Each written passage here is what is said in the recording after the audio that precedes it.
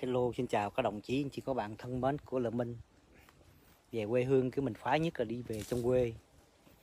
Về trong quê mình thấy cái cuộc sống nó nó yên bình.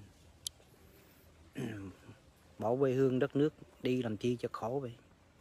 Các bạn thấy về sắm chừng hecta rồi, bỏ chừng 200 ngàn mua hecta Mà về xây lại giường tược mênh mông, ha trồng mai trồng kiển dục đó dục ngay bờ vậy đó. À, thấy dục ngay bờ vậy đó. Dục lọn xà xà ngầu vậy đó. lâu lâu cuốc lên dày gốc cái vô chậu bán vậy năm mười triệu. Ha rồi cứ tàn tàn tàn tàn thôi. Bỏ quê hương đất nước ra đi qua xa qua xứ người ta chỉ cho khổ qua đó rồi thiên tai dịch lệ cuộc sống kinh tế thì bất an ngôn ngữ thì bất đồng mình nói ra thì nhiều người này người kia chửi. Nói thằng lợi minh sao đi nói xấu nước mỹ. Nói chứ mình lên trên này mình cũng gian nan lắm anh chị các bạn. Nhiều khi anh chị các bạn gửi lời thăm hỏi là minh này kia là mình cảm thấy khích lệ. Nhiều khi mình bị chống đối ngay từ trong trong người thân luôn chứ không phải giỡn. Mình bị ngay cả người thân họ chống đối và họ từ bỏ mình luôn. Mà con đường của mình là mình cứ đi thôi tại vì mình yêu cái quê hương đất nước Việt Nam này. Mình không để những cái thành phần xuyên tạc chống phá đất nước. Nó phá hoại. Các bạn thấy vườn tược mênh mông. Qua xứ người ta, nai lưng ra cài sắp mặt. Rồi khi chửi chửi bới quê hương. Ô, tao qua mỹ tao mới có tương lai. Tương lai đâu không thấy.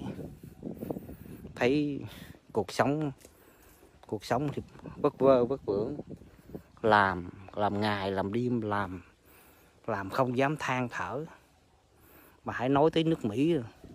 Hàng lợi, nó về việt nam. Hồi sớm này tôi mới bị bị gọi chửi cho một trận. Mày về việt nam ờ, mà mày về bển rồi mày nói xấu mỹ. Thì mày ở bển luôn đi mình cũng buồn chứ. Ừ nhưng mà thôi kệ cái con đường của mình chọn là mình cứ đi thôi. Không có gì cả. Cái chân lý của mình mình thấy nó đúng là mình cứ đi đừng chứ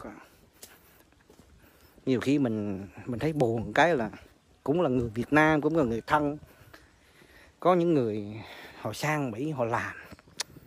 Tôi nói mà cứ ăn được miếng gì ngon cái ngồi đó ồ nhờ ơn Mỹ. À, tôi nhờ ơn Mỹ con cái tôi qua đây cũng phải đi làm học hành. Nợ nần thì thiếu đầu cổ đầu tắt hết. Mà có cũng nhờ ơn mỹ.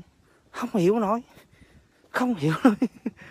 Bởi vì tôi nói chỉ có bạn thằng mỹ nó hay rồi nó hay cái chỗ đó. Nó làm cho những cái dân mà dân ở xứ khác tới cứ đè, nó đè đầu nó bóp cổ nó đập vô mặt mà cứ ô tao mang ơn mỹ không à? Thấy tội thì chứ nhiều khi mình thấy tuổi tuổi, mình thấy tuổi cái buồn tuổi cho cái cái số kiếp người của người Việt của mình. Đi sống tha thương cầu thực. Mà nhiều khi tôi chỉ chia sẻ về mặt trái của xã hội Mỹ thôi. Để cho những người khác người ta hiểu được. Và người ta không có có ngồi đó người ta bị xa lầy.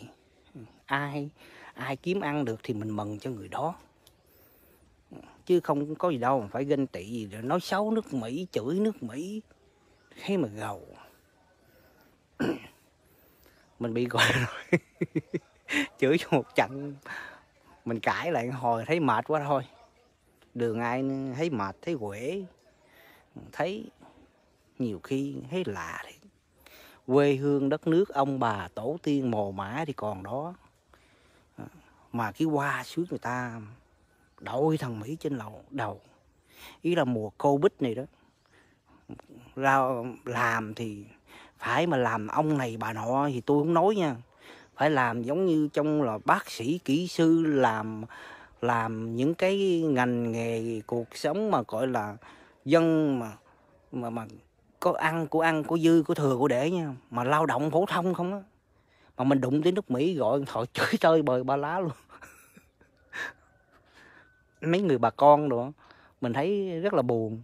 Gọi chửi mình tơi bời ba lá trong qua làm cu ly hết rồi trong khi đó quê hương đất nước đang phát triển đổi mới từng ngày và từng giờ. À, mình chia sẻ để nhìn thấy cái điều đó mình mừng cho quê hương. Còn cái chuyện mặt trái nước Mỹ, rồi mình chia sẻ để những người khác họ không ảo tưởng, họ không tưởng tượng. Ngồi đó cứ ngồi đó cứ ngồi đó mơ cái nước Mỹ. Thôi thằng Lại Minh mày đổi cho tao để tao qua Mỹ đi. Chàng đất ơi nói chuyện vậy mà nghe được. Nhiều người tôi thấy nói những cái câu nói gọi là tôi ngồi suy nghĩ hoài không ra.